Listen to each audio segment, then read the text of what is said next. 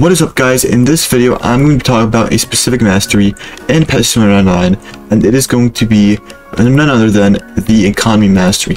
So as you can see, it has, you know, a lot of perks and I want to talk about specifically uh, the auto vending which at level 99 and also I mean free vending. Both these make I mean really not the free vending because I mean it's everything's like extremely cheap. But with the auto vending it is going to be very very OP as you can see I'm going to go into like you know the vending here and it's usually like to buy a random potion sure and as you can see, I got a legendary, and legendaries and up, I feel like are amazing. Um, and as you can see, you pretty much just don't have to do anything, and literally like free potions, and you can like be hatching eggs. Free potions and free enchantments are going to just randomly show up in your uh, inventory while you're just doing all that. That is why this is a very OP thing, and I recommend you guys, uh, you know, pretty much max this out. So you guys may be wondering, I mean, what are all the possible ways to max out the economy mastery?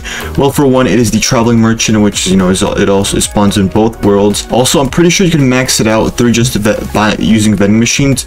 Not sure about free, uh, the free stuff, like as you can see, free potions. Not sure about these, but definitely if you use the vending machines, that counts towards the economy, uh, thing. I mean, I don't think the uh, free stuff would count because I mean that's free. It's not really contributing to an economy.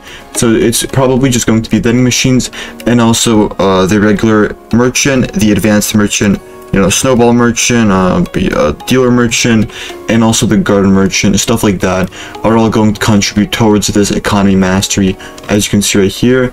And I mean, two merchant luck odds. This is a very OP. All of these are I feel like by far all these uh, perks and rewards are outnumbered. Like they're like by far a lot, whole lot better than any of, of these other ones. Like for this one, 30% cheaper eggs for the last one, it's like nothing. Five bonus exploits, I mean that's alright, but the economy master is something guys that you should definitely this this is the master you should definitely be focusing your uh, you know your your time on because it is extremely OP. And if you guys, you guys are going to definitely miss out if you guys do not max this out to level 99. So that's pretty much it guys. Thank you guys for watching. Peace.